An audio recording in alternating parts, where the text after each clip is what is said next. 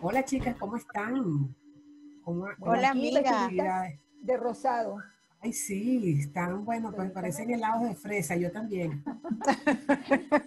Esto tiene una razón de ser y que después se van a enterar.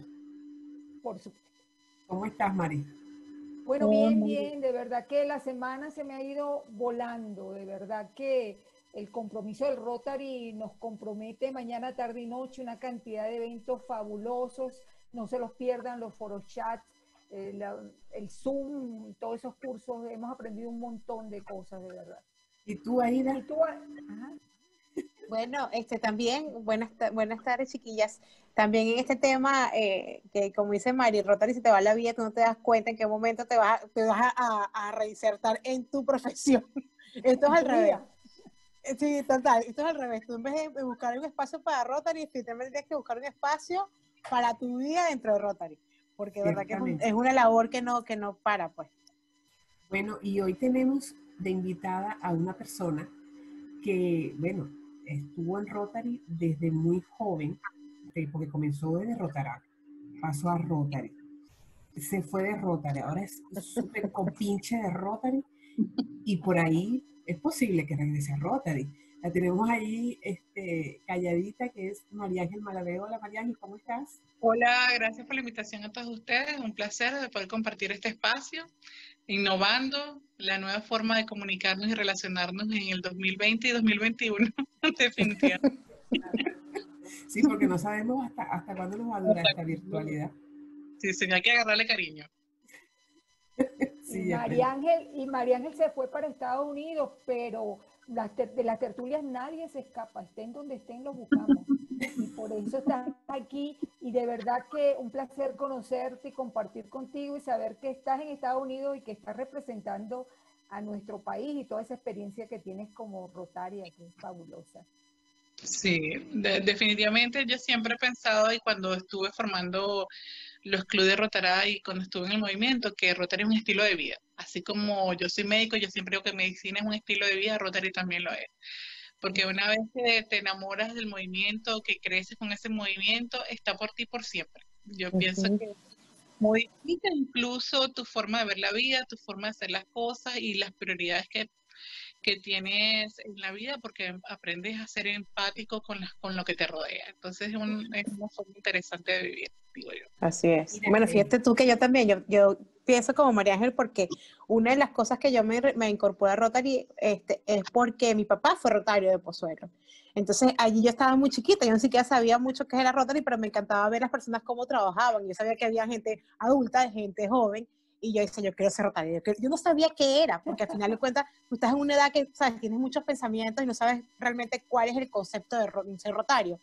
Pero yo, me encantaba, era porque hacían actividades, ayudaban a las personas y todos los fines de semana era una unión eh, de amistad y familiar. Entonces tú decías, escúchale, qué rico, porque yo tenía muchos tíos, muchos tíos, muchos primos, muchos amigos, y eso es una de las cosas que tú te vas eh, eh, con esa conciencia, pues no, en tu casa cuando vives con familia rotaria. Ahora, este, la pregunta obligada, ¿cómo, cómo llegó Rotaria a tu vida, María? Bueno, fíjate que igual que Aida, nosotros somos hermanas del mismo club, tuvimos esos orígenes. Mi papá eh, era de ese mismo Rotary, Rotary Pozuelo. Y nosotros de pequeños vimos como ellos los fines de semana, nuestros eventos, o sea, nuestras reuniones familiares eran con la gente de Rotary. Entonces Rotary era otra familia. Entonces eran los tíos, los primos, y, tú creas y, desarrollamos esa hermandad y esa visión de ver cómo nuestros padres, a pesar del tiempo, de no ser ricos, de no tener este, um, no a veces poco tiempo para hacer muchas cosas, siempre estaban dispuestos a ayudar. Que cuando hacíamos un evento familiar, eh, eh, familiar siempre estaba incluido alguien de Rotary o el grupo, y uno eh, empieza como esa semillita a crecer en uno como dice Aida, tú empiezas a ver esas actividades, empiezas a participar. Al principio no tienes conciencia real de qué está pasando, pero cuando vas creciendo te das cuenta, oye, qué bonito, porque sabes que una, e, eso es una de las formas como uno crea empatía en el ser humano, ayudar a otros que te preocupe qué, qué está pasando, qué te, lo que te rodea.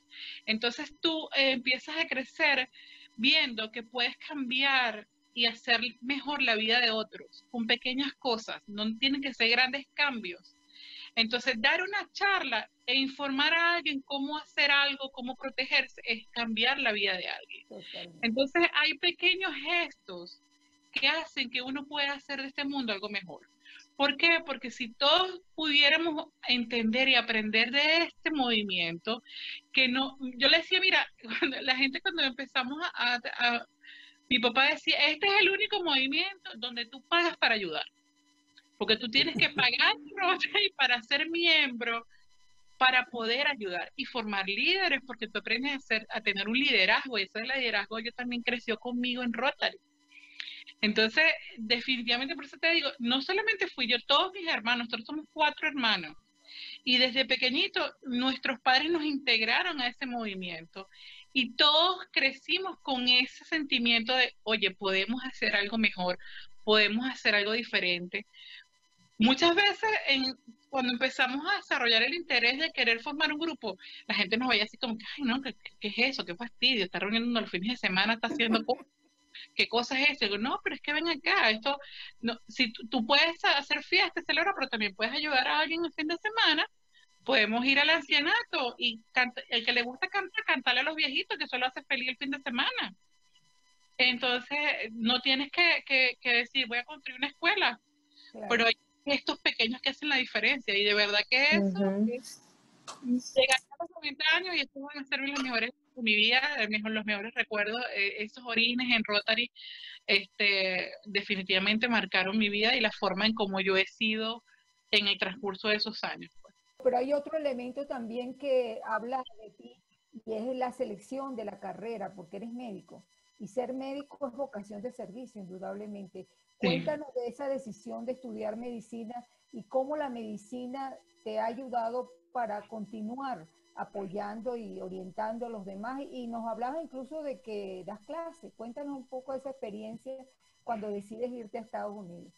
Bueno, fíjate, eh, cuando yo estaba en, cuando empezamos en Rotary, desde niño, ya yo empecé, había actividades en los hospitales, había actividades también eh, con los ancianatos y ya yo venía con ese interés de de la medicina me interesaba muchísimo y leía sobre el cuerpo humano y desde niñita jugaba a ser la doctora de, de las muñecas.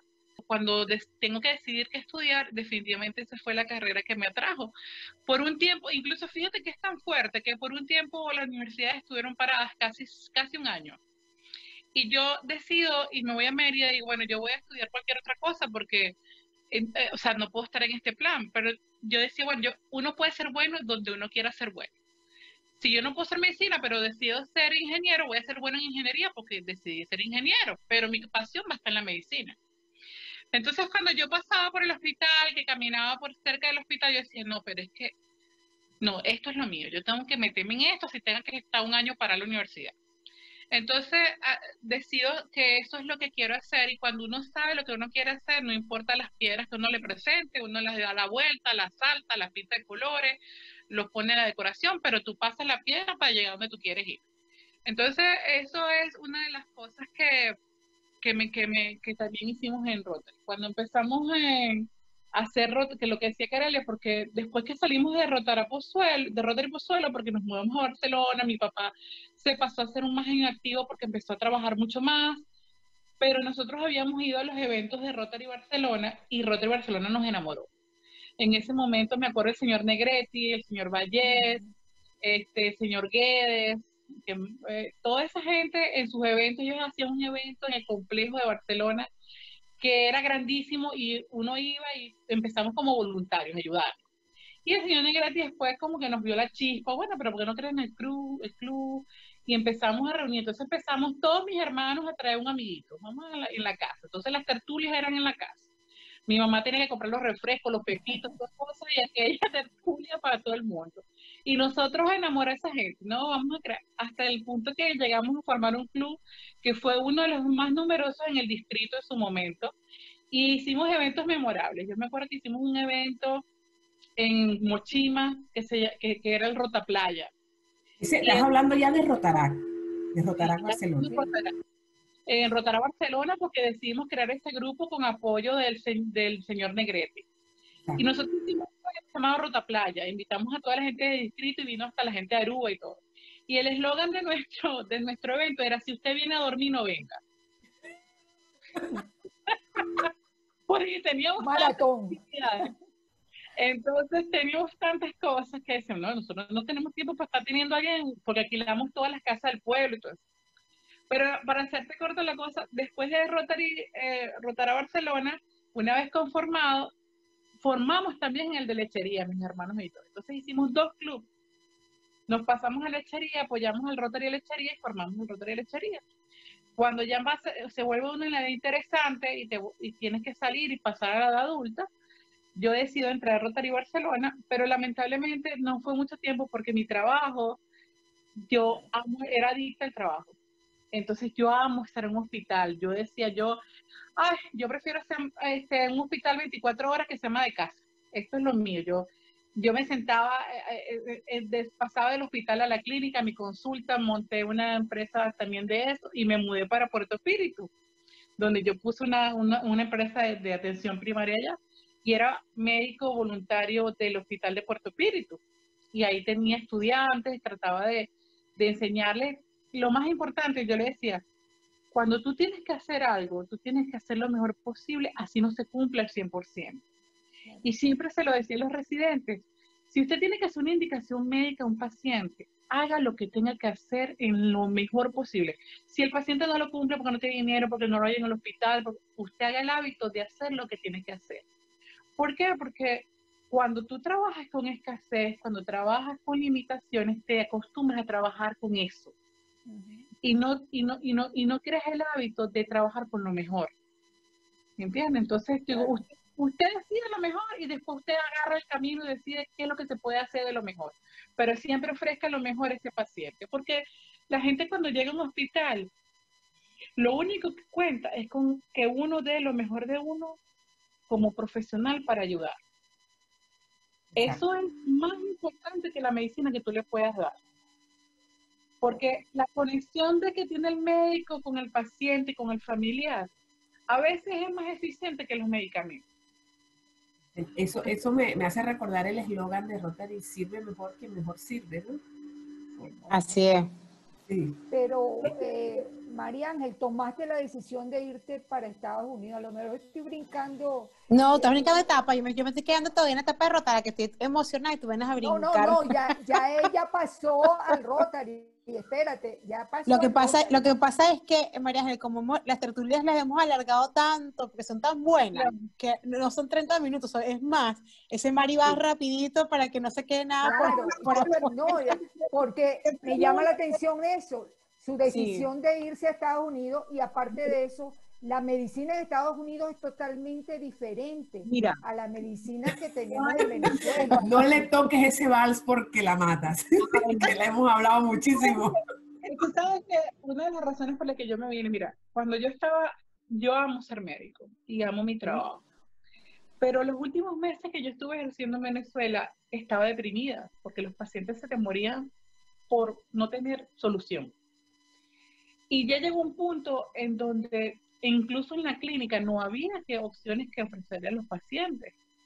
Entonces tú te sientes como cómplice de esa falta de, no sé, yo no, no, quiero decir una palabra fea, pero eh, hay un momento que tú dices, ¿qué estoy haciendo?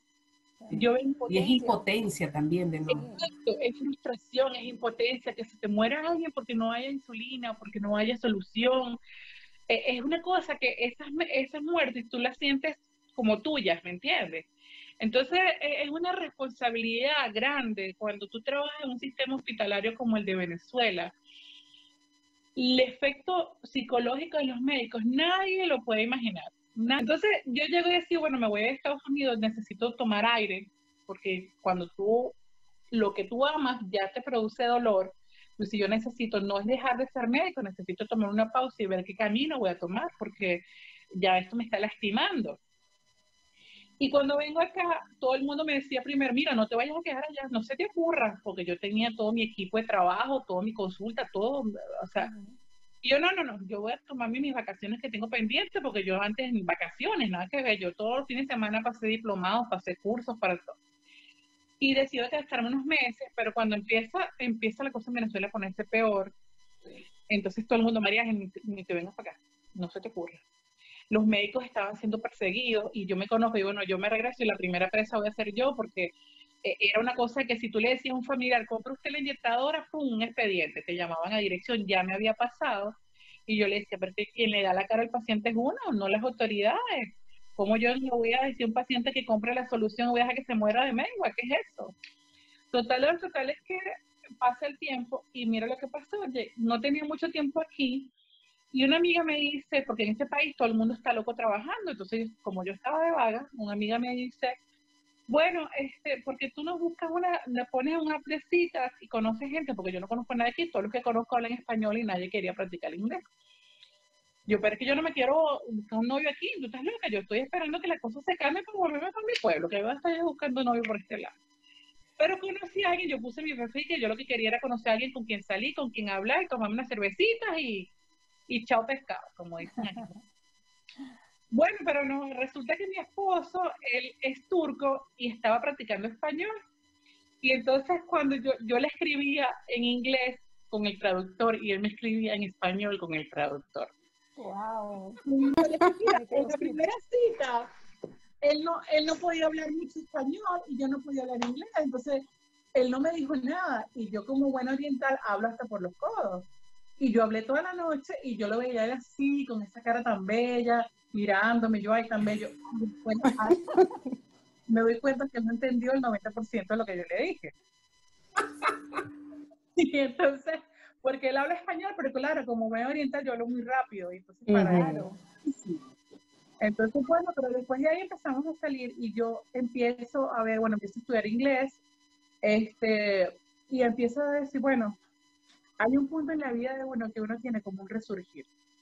Y llega el punto en que yo decido, bueno, tengo que volver o me quedo. Pero entonces yo digo, yo amo mi trabajo y nunca había tenido la oportunidad de tener una relación como la que tengo ahorita. Nunca me ahorita. Entonces, bueno, ¿será que este es el hombre? Pero yo no estaba muy convencida porque yo decía, no, yo estoy en mi casa para esas cosas. No, no, yo quiero hacer otro posgrado, yo quiero, yo, yo no me veo en este plan, está atendiendo muchachos, está atendiendo casa, no, no. Entonces, bueno, pero uno, el amor lo pone uno ciego y loco. Total. Este, este turquito es mío, yo no me regreso. Te voy a decir lo que yo siempre le digo. Mira, en Venezuela yo le decía, turcos, never in the life. Porque yo le decía, no, no, no, los turcos tenemos malas amigas. Toda amiga que no voy a salir con un turco, no, no, turcos nada.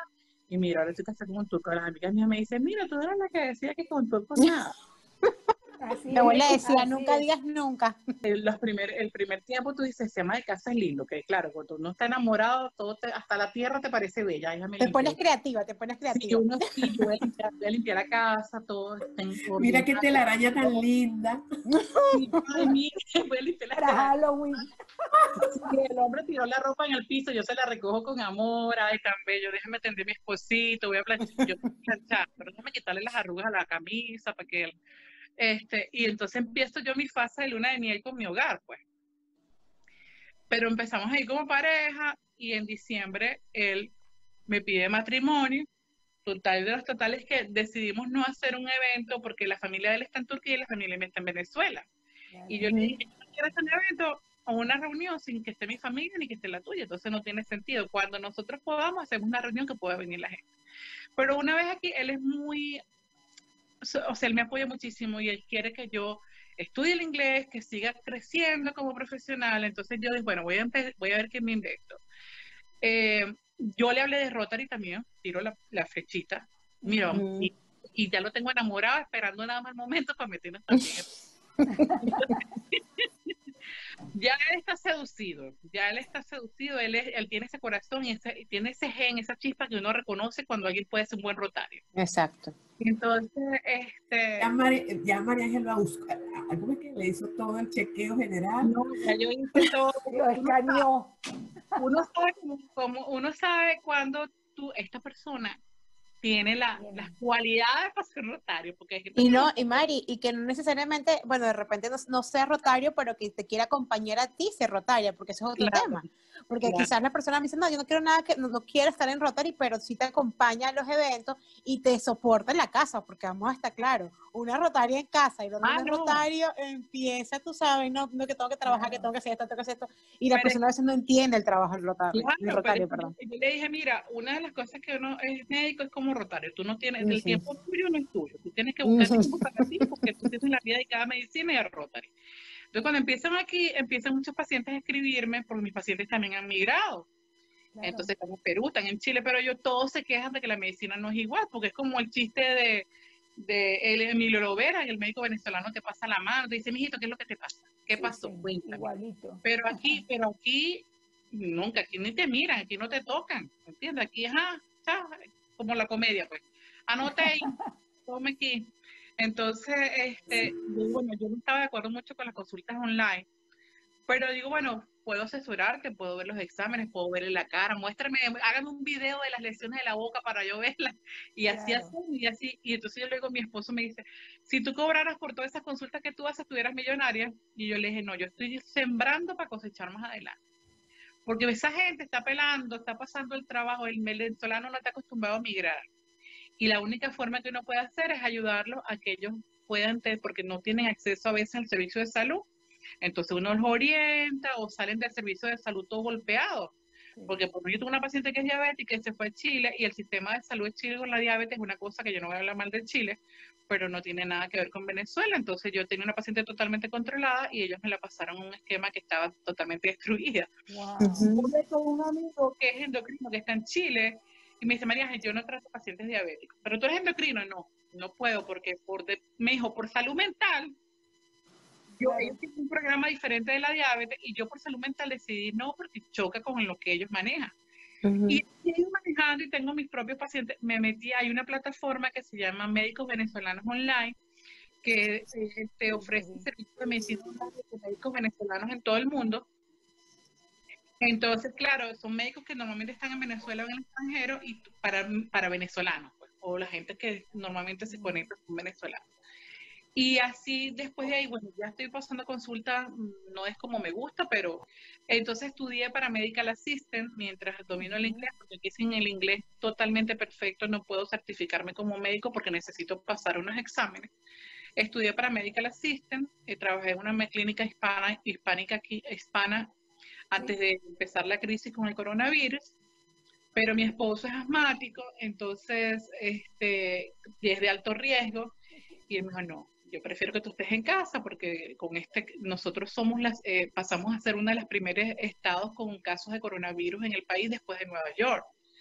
Entonces, este, decidimos que, bueno, yo iba a estar en casa porque él trabajaba desde casa y no tenía sentido que yo me expusiera. Claro, claro. él. Entonces, bueno, ¿qué voy a hacer ahora? Porque tú sabes, cuando uno tiene esa energía así de más, ya limpié la casa, ya me senté en el sofá, ya pulí el techo, ya hice todo, ya, o sea, ya no puedo, tengo que echar tierra en la casa para volverle a limpiar porque ya no tengo que hacer.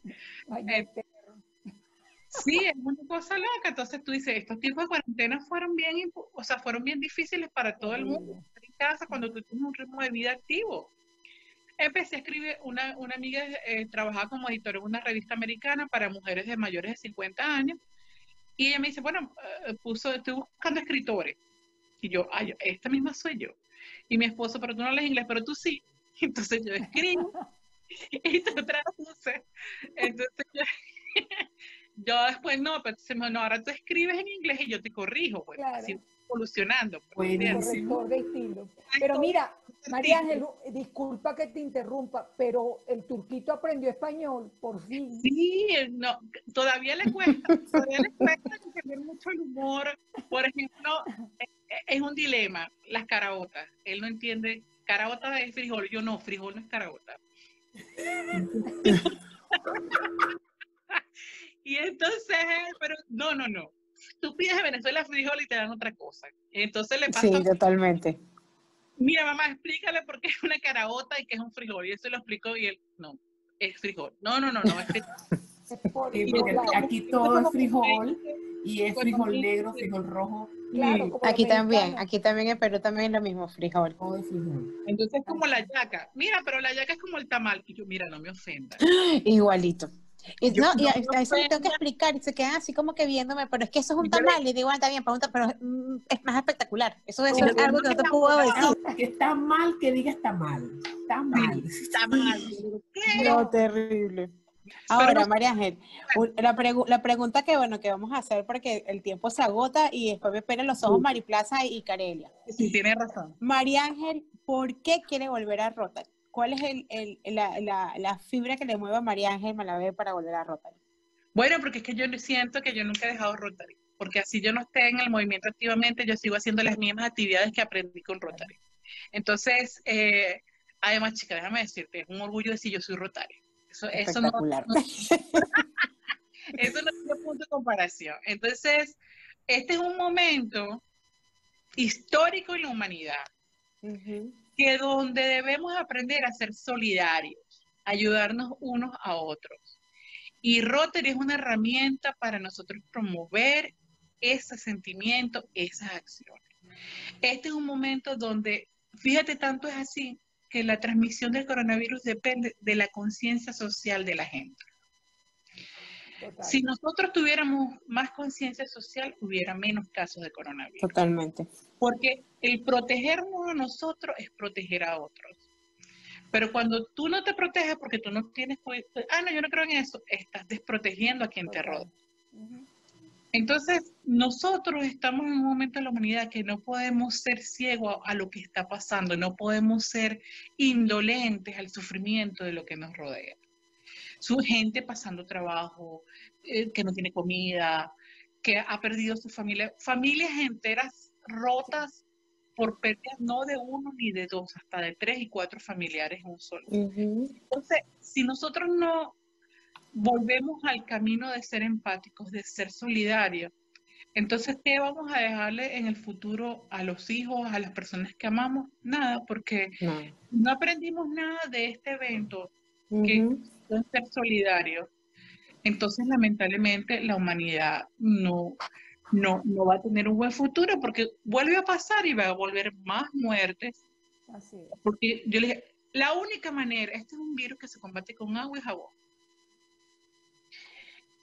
pero no porque depende de la gente.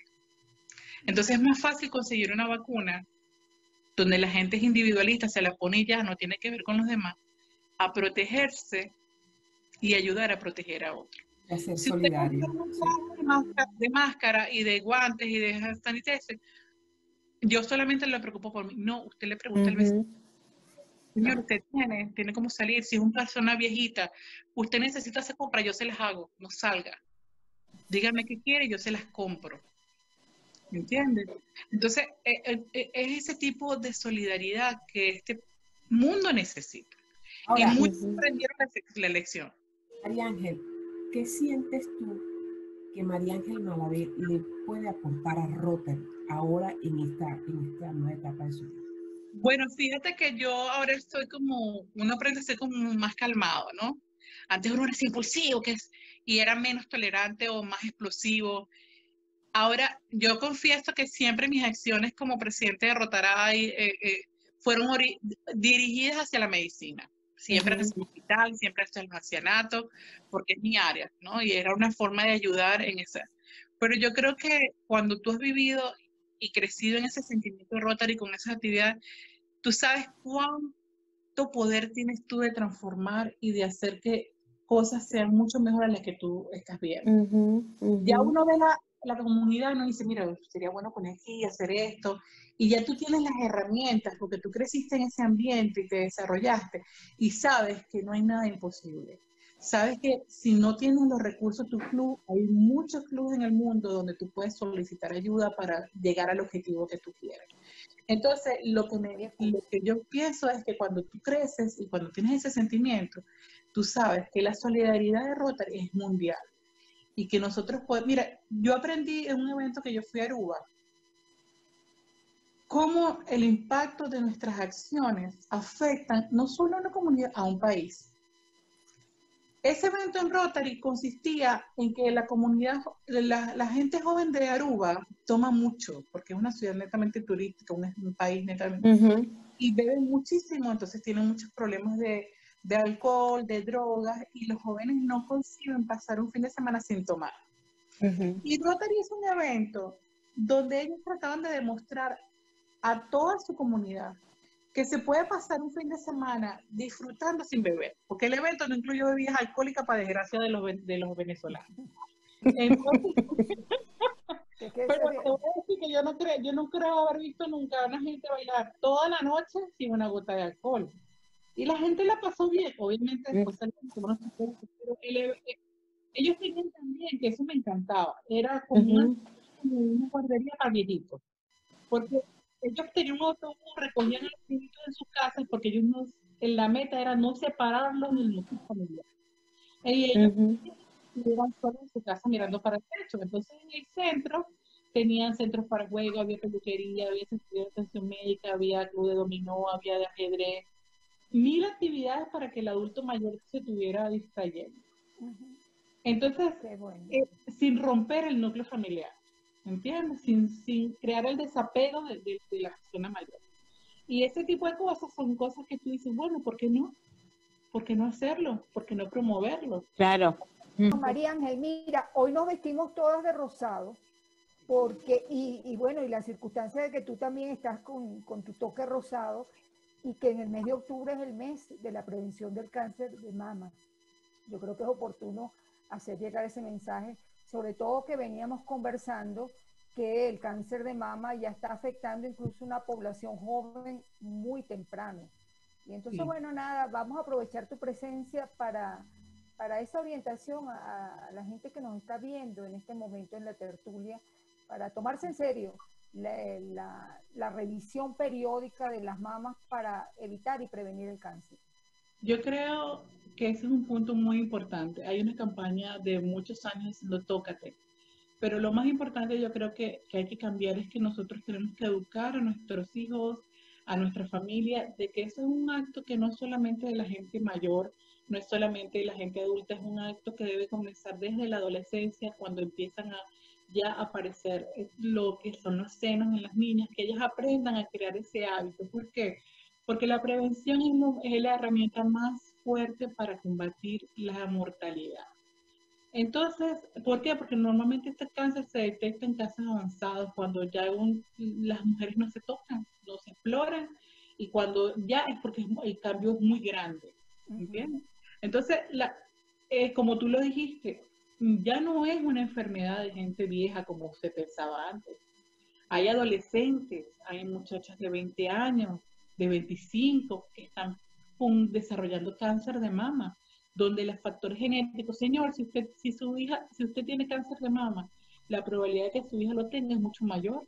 Entonces la prevención debe empezar desde pequeño, porque la gente, no, es una niña. No, debemos educarnos. Si usted tiene una niña, edúquese. Si usted tiene una niña, un adolescente que ya tiene mamas, parece frente al espejo y enséñale cómo tocarse el Internet no solamente es una herramienta para perder tiempo o para divertirse, es una herramienta educativa.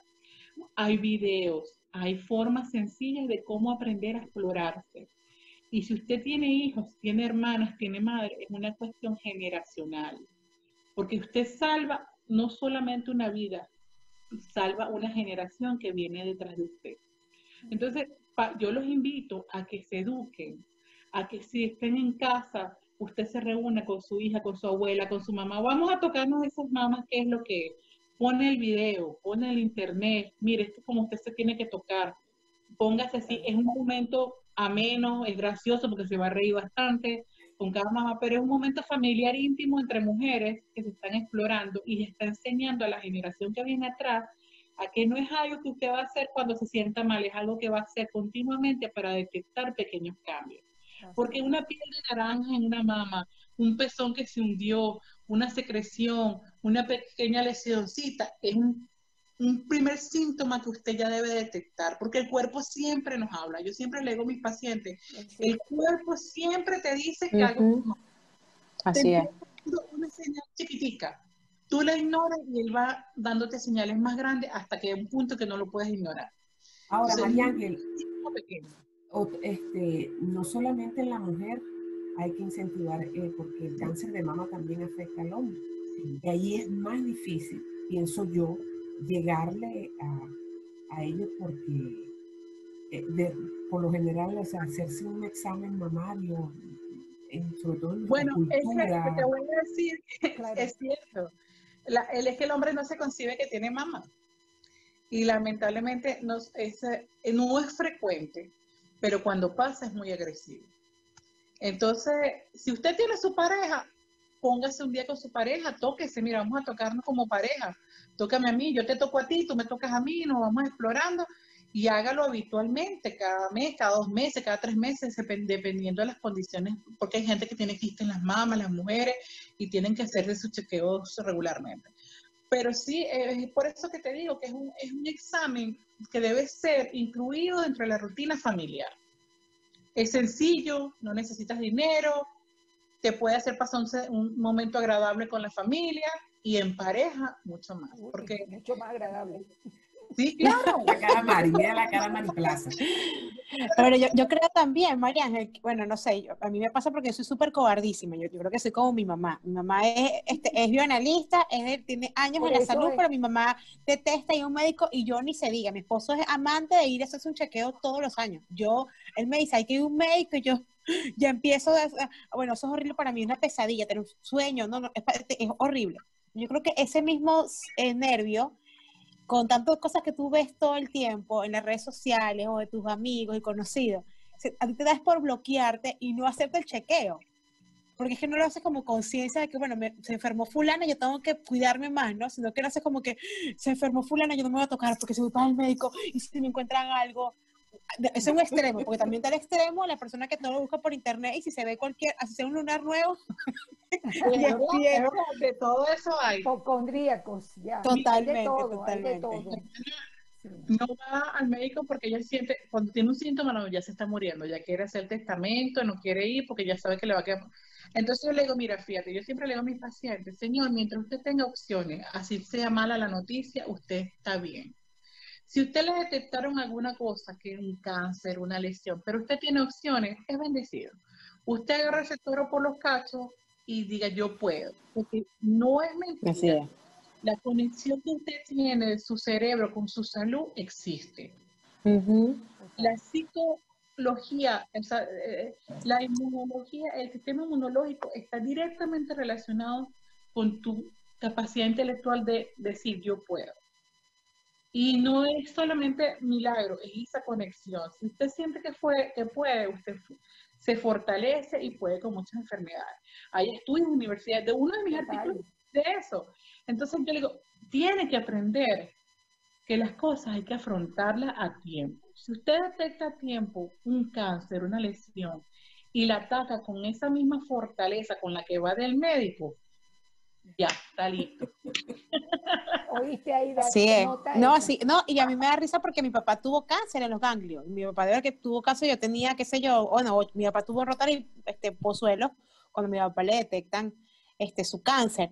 Y de verdad que, bueno, no, no que vive eso, mi papá se, se, metió en su cabeza, yo me voy a salvar, estábamos todos chiquitos, fíjate tú, mi hermana menor tenía un año de mes, o sea, un añito recién cumplido. Y mi papá se metió eso en su cabeza, yo me voy a salvar, me voy a salvar, que digo, bueno, y siempre que alguien me dice estoy enfermo o tengo a alguien enfermo, siempre digo eso, pero yo y un médico, yo, yo, Diosito, no que no me enferme, por favor. Cuando mi hermana le dio cáncer a mi hermana menor, yo decía, yo no quiero ser médico, porque yo no quiero ver los estudios. A ella le hacían los estudios, yo no los quería ver, pues yo decía, si yo veo algo así como que ya, yo me muero. Pero entonces pues decir, no, tengo que agarrar y meterle y yo tengo una tía que ella le dio cáncer de ovario, una de mis tías más queridas, y el pronóstico era malo, estaba en una fase súper avanzada. Cáncer de ovario es muy agresivo. Y yo, y yo, mi, o sea, mis conocimientos me dicen se va a morir. ¿Me entiendes? Porque es lo que tú aprendes. Pero ella me dio una gran lección, porque ella me dijo, no, mija, esto no me va a matar a mí. de esto no me voy a morir ahorita, me moriré más adelante, pero no ahorita y sobrevivió a la quimio y ahorita tiene unos exámenes normales y los médicos están sorprendidos. de que lo, todo está normal, como que si no hubiese tenido cáncer, para un cáncer que estaba estadio 4, ¿de dónde? Entonces, de allí es, que yo te digo que eh, uno tiene que afrontar y decir, porque si un hijo tuyo se enferma, tú agarras y sales como loca a buscarlo. Entonces, no puede ser menos importante tu salud, que es la que cuida el muchacho, que la del muchacho. Y también se vive en Venezuela, la agresión a los médicos. Es horrible. Mira, eh, yo te voy a decir, la, agresividad en los hospitales nunca va a ser registrada de la forma adecuada. Yo llegaba, yo tenía guardias donde tenía 60 pacientes en un área que era solamente para 10. Y a veces me llegaba un paciente con un infarto o con algo que meritaba hospitalizarlo y yo no tengo cama. Y ya llega un punto que te dice, no tengo pared. ¿Por qué pared? Porque yo agarraba, tú lo pones y le pones el suero pegado a la pared. Pero entonces si no tienes pared, porque están todas las paredes ocupadas, pues no puedes. Entonces tú le dices, Señor, no tengo cama. ¿Cómo es posible? Tú no tienes corazón, vas a morir. No, mire, haga una cosa. Busque usted dónde ponerlo y yo lo atiendo donde, donde usted consiga. lo ubique. Qué bárbaro. Porque para tú trabajar en un hospital, en Venezuela hoy día, lo que tú ganas no te alcanza para llegar al hospital, pagando la gasolina o reparando tu carro. Y ahí hay gente que no tiene de comer en su casa trabajando como enfermera, como médico, como analista, porque el sentido de vocación es más grande que la necesidad del dinero, porque tú tienes, pueden trabajar fuera, lo hacen, pero no abandonan el hospital.